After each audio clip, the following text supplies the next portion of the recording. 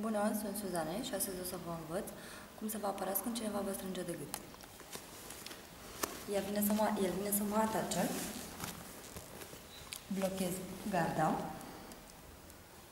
strâng uh, mâinile, ridic picioarele și extind.